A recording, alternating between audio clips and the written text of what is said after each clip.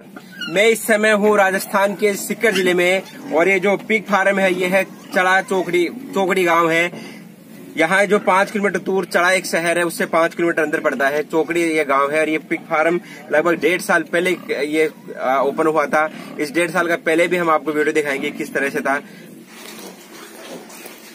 ए बच्चे देखो एक एक महीना का सही दे। ये एक महीना को चाहिए हाँ, हाँ। एक महीना को चाहिए बच्चे चाहिए और- वो तो बाद में गई और ये तो फिर दो हज़ार बस। एक महीना को होगा अपने ये पर बड़ा बच्चे से ना सारे अच्छा।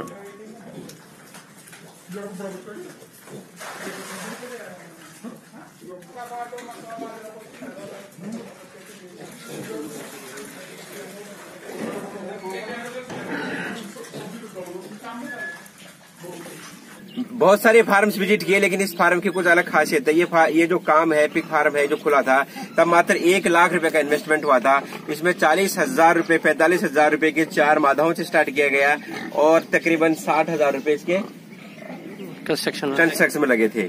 चलिए हम देख जो हमारे इस वीडियो को पहली बार देख रहे हैं कृपया हमारे चैनल को सब्सक्राइब करें और पास में बेल आइकन को दबाइए। आइए हम आपको विज़िट कराते हैं।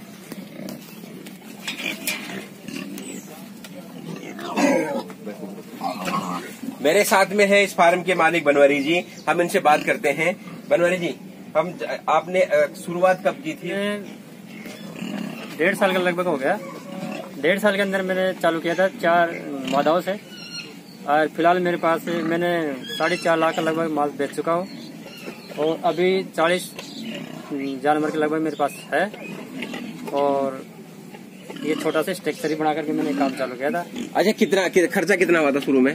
टोटल इतना शुरू के अंदर से मैंने चार मादा ली थी साठ हज़ार रूपए की। हाँ। उसके बाद में फिर उसके अच्छा बाद चालीस इसमें लगाए साठ के मादा एक लाख रुपए एक लाख रुपए के। और अब तक ये आपको कितना दिन हो चुके लगभग? ये डेढ़ साल हो गए लगभग। डेढ़ साल हो चुके आप और भी काम करते हैं पार्ट टाइम करते हैं फुल टाइम करते हैं? ये मैं तो पार्ट टाइम खाता हूँ मेरे तो चार पाँच काम है इसके अंदर। ये चौथे नंबर काम है। ये चौथा नंबर का काम मालिक भी करते हैं। तो आपने लेबर वगैरह लगा रखी है? हाँ एक लेबर रखता हूँ कभी कभी कभी मैं खुद भी कर लेता हूँ। खुद भी कर लेते हैं। एक बार दिखाइए आप अंदर से।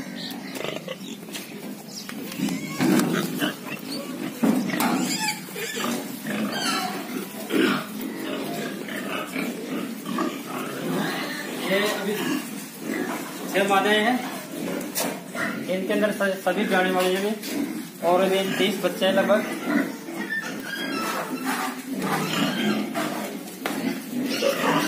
एक बार गाय है सेकंड बार गाय ये भी छोटे बच्चे एक मिनट इसका बताओ। ये? ये? हाँ। ये तीसरी बार ब्याएगी है।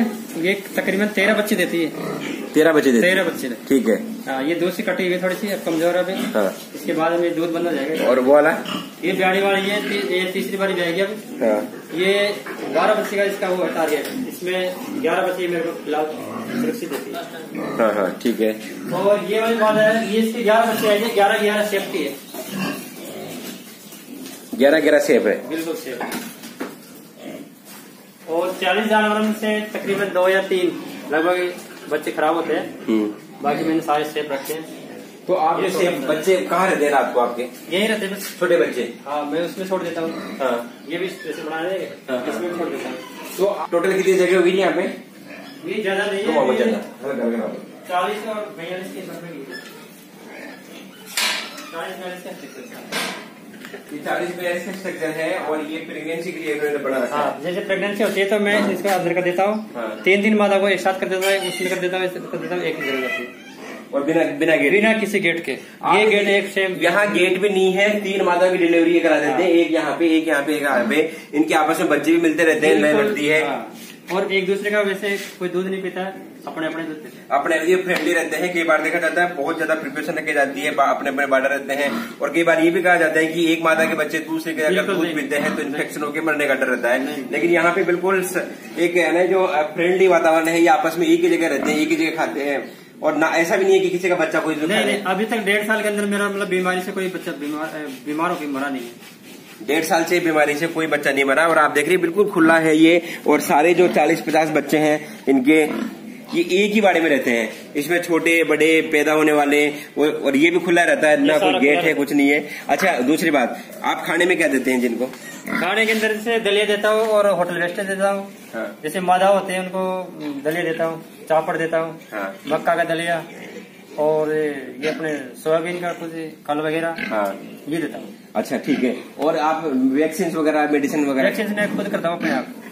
Time to time time to time record maintain करते हैं पूरे। और कोई बीमारी वगैरह हो जाए डॉक्टर आता है? नहीं मैं खुद ही चेक करता हूँ।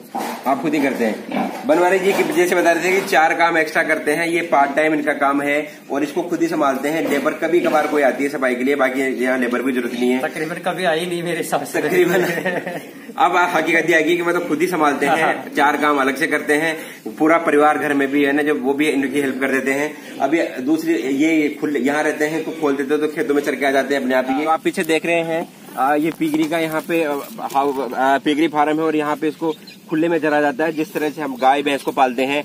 तो ये एक अलग एक तरीका है यहाँ पे अपनाने का और ये ठीक भी है क्योंकि खुद की ज़मीन है चारों तरफ़ से बंद है तो ऐसे खुले इन्होंने ये करके छोड़ रखे हैं। इससे आप फ़ीड भी बचा सकते हैं इसके बहुत कुछ जो आप है प्रॉफिट भी ज़्यादा आएगा और आ, खर्चा बहुत कम लगेगा आपका तो आप किस तरह का आजमा सकते हैं? बशर्ते की सुरक्षा की ज़िम्मेदारी आपकी रहेगी। मनवारी जी खुश मिजाज आदमी खुश रहते हैं तो उनके जानवर भी खुश रहते हैं और जो आदमी खुश रहता है वो कोई बीमारी नहीं पड़ता ये जानवरों के साथ होता है। तो आप देख रहे हैं ये जो जगह है चालीस बाय बयालीस की है पर्स भी आप देख रहे हैं टूटा फूटा सा है। होटल में आधा ही होटल वेस्ट देते हैं उसके बावजूद भी इनकी जो कैजुअलिटी की संभावना नील है। तो बनवारी जी अब आगे आप आगे का क्या प्लानिंग है आपकी? आगे का प्लानिंग है मैं इसको थोड़ा बढ़ाना चाहता हूँ और कुछ पेमेंट आने के बाद मैं बढ़ाऊँगा इसको फिर इसको मतलब बड़ा करना चाहता हूँ। तो अभी अभी कर रहे थे आप? क्यों नहीं किया फिर आपने? अभी तो फिर मैंने क्या हुआ साढ़े चौदह पंद्रह लाख की ज़मीन खरीद ली। हाँ। उसमें मैंने पैसे लगा दिए। हाँ। और उसकी अभी उसी पे लोन उठा करके मैं इसको आगे बढ़ा दूँ। उसी पे लोन उठा के आप इसमें चला दोगे। वेरी गुड वेरी गुड अच्छा ये बताइए आपने यही काम क्यों सोचा? कहाँ से देखा आपने ये चीज़? मैं फरीदाबाद काम करता हूँ अपन अरुण जेटली जी जो है ना हाँ। उनकी कंपनी में काम करता तो वहाँ पे मेरा एक कांटेक्ट चल रहा है अभी फ़िलहाल भी। हाँ। तो वहाँ पे अपने जो यूपी साइड के जो स्वीपर होते हैं ना हम्म, स्वीपर हम्म। वो बैठे बैठे वो काम करते थे वो बैठे बैठे बातें करते थे उधर। हाँ। कि मैंने अब की बार पचास हज़ार का माल बेच दिया तीस हज़ार का माल बेच दिया तो वो कानों में मेरे कानों में बातें पड़ी तो वो फिर मेरे दिमाग में ये आया। फिर उन्होंने मेरे को बताया कि यार ठेकेदार आप ऐसा काम करो कि आप गाँव में रहते हो आप दो जानवर लेकर के पटक दो उसके बाद में वो उनके बच्चे हो जाएँगे वो प्रोडक्शन चालू हो जाएगा और आप भी हमारी तरफ़ से बेचना चालू करें। तो मैंने वहाँ से थोड़ा गाइडेंस लेकर के और मैंने किसी प्रकार का कोई गाइडेंस नहीं लिया मैंने। हेम सेल्फ काम किया है हेम सेल्फ जानवर खरीदे हैं हेम सेल्फ ये बनवाया है स्ट्रक्चर और किसी भी मतलब दूसरी बात, ये जो आप नए जो फार्म खुलते हैं, वो कई बार बंद हो जाते हैं काठे हो जाते हैं, उनका क्या कारण है और नए आदमी को क्या कहना चाहेंगे आप? नए आदमी को ये है कि थोड़ा जो जैसे रखेंगे ना, अपने जानवर रखेंगे तो उसको केयरफुल रखना पड़ेगा, और वैसे कोई टेंशन वाली बात नहीं है।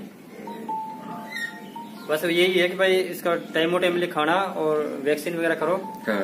और बस आराम से कोई दिक्कत नहीं। बराबर हाँ जी कुछ कह रहे थे? मुझे उम्मीद है कि आप भी लोग अगर कोई बाई करना चाहता है तो आगे इस तरीके से थोड़ा सा इन्वेस्ट करके और काम चालू करे और आगे आगे बढ़ा सकते हैं। मतलब आपके लिए ज़्यादा इन्वेस्टमेंट नहीं करो बड़ा। कम हाँ, से कम कम से कम कम से कम जी। उससे चालू करो तो अपने आप हो जाएगा। कम से कम इन्वेस्टमेंट लगा के आप स्टार्ट करें, क्योंकि बनवारी जी ने मात्र एक लाख रुपए में काम स्टार्ट किया था, और ये चार, साढ़े चार लाख रुपए का अब तक ये सेल कर चुके हैं। अब इनके पास में चालीस पचास जानवर और हैं, इस काम को और धीरे धीरे बढ़ा रहे हैं। उम्मीद है आपको ये वीडियो पसंद आया होगा।